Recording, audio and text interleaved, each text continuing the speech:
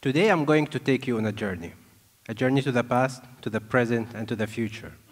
I'm going to show you how physicians throughout the world and throughout history have always tried to diagnose diseases. And in order to do this, they had to understand the complicated machine called the human body. As you may have expected, we're going to go back to ancient Egypt 4,600 years ago. Some of you engineer, in engineering may recognize the name Imhotep. Imhotep was not only the architect of the legendary step pyramid, but he was also a great physician. What you're looking at now is the Edwin Smith papyrus, which is believed to be authored by Imhotep. This is the very first medical textbook to ever introduce a rational and a scientific approach to diagnose diseases and understand the human body. Before then, diseases were thought to be some mysterious form of witchcraft or magic. 3,000 years ago in ancient Babylonia, the chief scholar and physician Esagil Kin Apli have tried to understand the diagnostic of the body through authoring his own book, which he called the Diagnostic Handbook. He tried to understand the human body through developing his own algorithm of inspection. So he has introduced more than 3,000 entries to understand and examine the human body systematically from head to toe to diagnose diseases. 2,500 years ago in ancient Greece, Hippocrates remains one of the most outstanding figures in the history of medicine. He is considered to be the father of medicine. He was the first to categorize diseases into acute or chronic and also into epidemic and endemic. He has introduced diagnostic signs for many diseases that we still use today, such as cyanotic heart disease and lung cancer. His contributions have allowed us to understand so much about the human body. Then 1,000 years ago, the Islamic scholar and scientist Ibn Sina, you may recognize him as Avicenna, that's actually his Latinized name. He's considered to be the father of modern medicine. He has studied medicine in great detail. He has authored more than 40 medical textbooks, one of which is called Qanun al-Tib, or the Canon of Medicine. This book is still being reprinted today in, in English as well. And he has pioneered the idea of using syndromes to diagnose diseases. His contribution has allowed us to understand so much more about the human body. Then in the 1900s, the Canadian physician Sir William Osler has reshaped the medical practice into what it is today. He was the first to introduce the fundamental of clinical and residence training in medicine.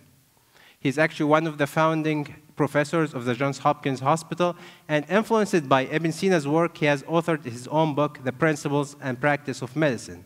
This book has allowed us to learn so much about how we diagnose diseases the way we do today. So you may be asking yourself, why did I take you through this very condensed history of uh, the, his, uh, the history of medicine? Well, understanding the history of medicine will allow us to understand our current medical landscape. And this will enable us to predict which new innovations are needed to launch us into a new era of medical care. So if someone goes to the hospital today, diagnosing a disease is conducted not only through clinical examination, but mainly through diagnostic approaches, such as imaging techniques, you get X-ray or CAT scan or MRI, or invasive blood work. Now, these tests are very helpful.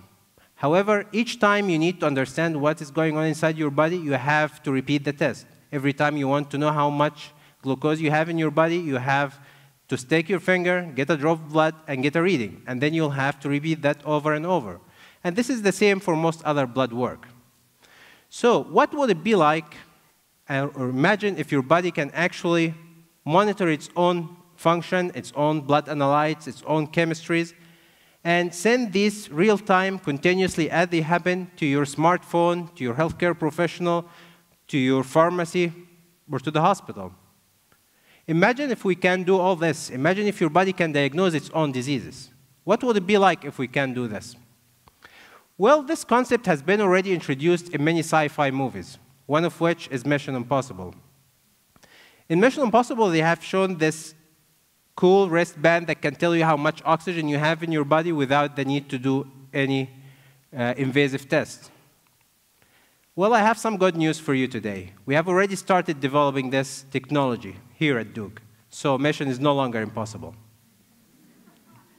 What you're looking at now is what we call a biosensing platform or a biosensor. This is a three millimeter long, half a millimeter thick implant made of a smart gel.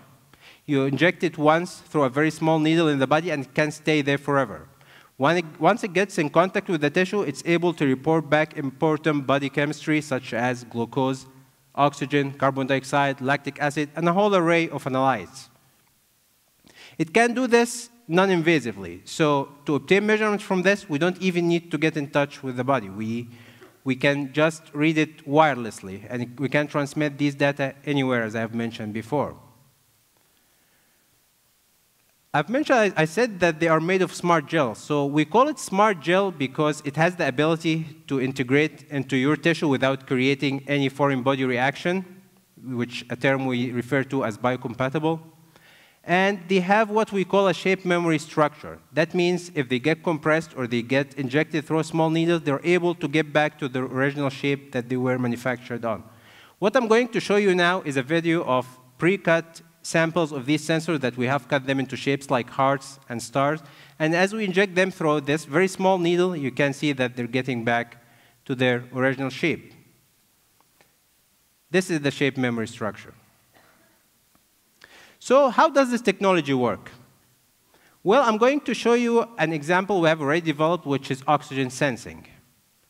So once these sensors are implanted, they're going to interact with local oxygenation and they're going to fluoresce in a degree that will correlate with this oxygenation. So if you have low oxygen, they're going to fluoresce more.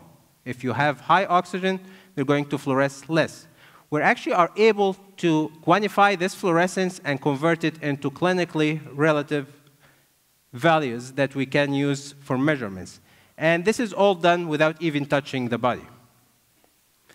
These sensors, they do not expire they always give you measurements, they can last there forever. So some people may not be comfortable with the idea of leaving these sensors in forever, right? And so we have developed new versions of the sensor that have predefined period of degradation. So you can basically, we can define if we want them to stay few days, few weeks, or few months, after which they're just going to disintegrate and disappear. We have done extensive preclinical studies in uh, tissue models and in benchtop models, and we, we have obtained very encouraging results that now we're getting ready for the very first in-human use and implantation. The technology is great not only for patients, but it can be used for soldiers, for example, in the battlefield. It can monitor the real-time body functions and important chemistries and send this back real time to their units and alert them in case there is a medical emergency to go back to their unit for medical attention. It can be used also for athletes to optimize their performance and monitor their progress. So, 5,000 years ago, disease were, diseases were thought to be some mysterious form of magic. If it wasn't for the tireless efforts of all these scientists, this probably would not have changed.